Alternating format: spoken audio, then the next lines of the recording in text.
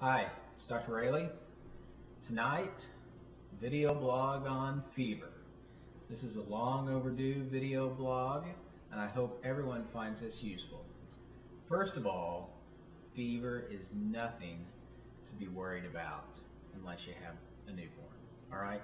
So this probably brings more people into my office than any other visit, more phone calls, more worried moms, more worried grandmothers than anything else than the fever.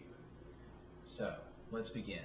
First of all, fever is just the body's response, an appropriate response to either a viral bac excuse me, a viral infection, which is 95% of the time, or a bacterial infection, and that's what you need to worry about, the bacterial infections.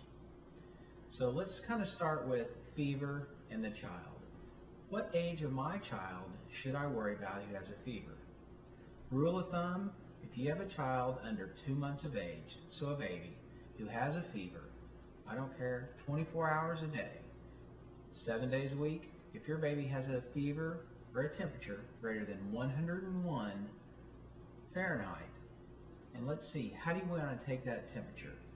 My favorite way now is with the temporal artery thermometer. That's the one where you get, you go across the forehead like that.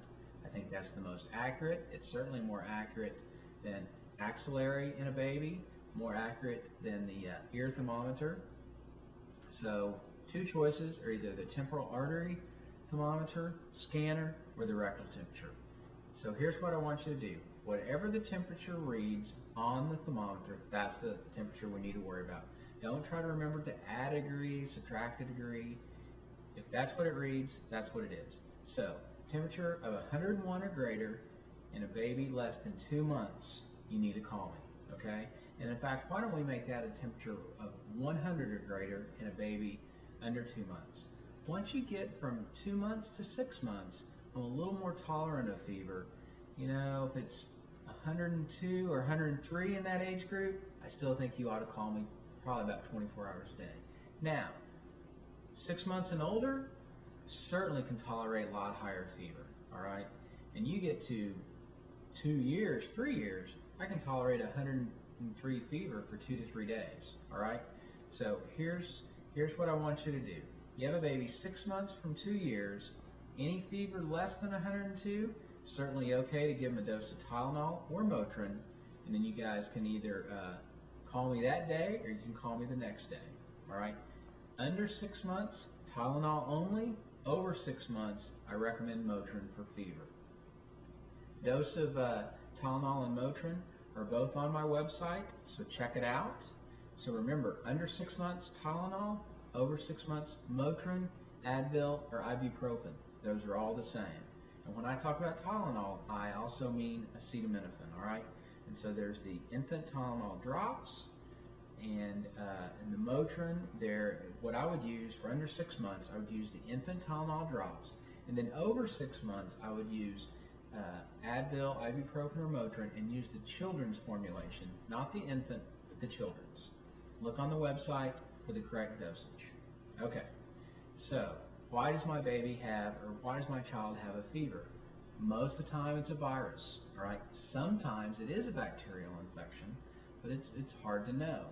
And the thing that everyone is scared about is, is fever gonna harm my child? Is my child gonna get brain damage from fever? No way.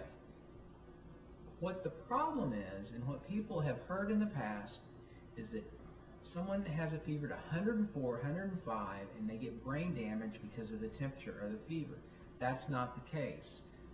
Maybe these kids that we've heard about from our grandparents and our parents who've had that high of fever have had brain damage probably because they have had meningitis, which has caused the fever that high.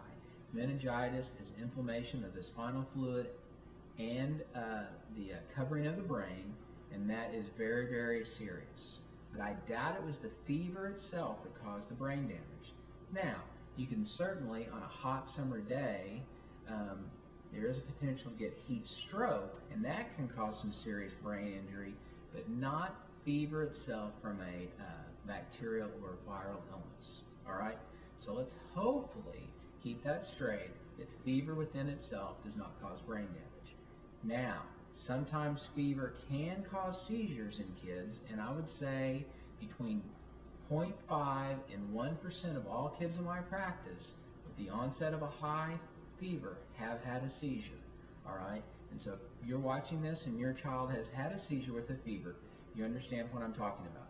But it's still very rare. Okay? So, what to do if my child has a fever? Under two months, call me. From two to six months, it's okay to give a dose of the uh, Tylenol and see what happens. If the fever persists, please call the office. Over six months, give a dose of Motrin and let's see what happens over the next four to six hours. Please don't hesitate to call the office at any point. And remember what I've told a lot of you all, and you'll see this on my website, that the most important thing is not necessarily the height of the fever, meaning that if you have a one-year-old baby with 103 fever who's cooing and babbling and talking and running around the house, that's not as big a concern as a three-year-old who has a temperature of 100 degrees and you can't get him off the couch and uh, he seems to be lethargic and unresponsive. All right, so that is certainly an emergency. All right, so please, if your child has a fever, remember, most of the time it's a virus.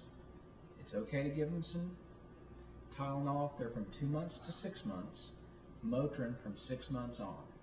If you have any questions, please don't hesitate to call the office. 398-7170 and by all means please check out the website at brianraleymd.com. Thanks and have a good night.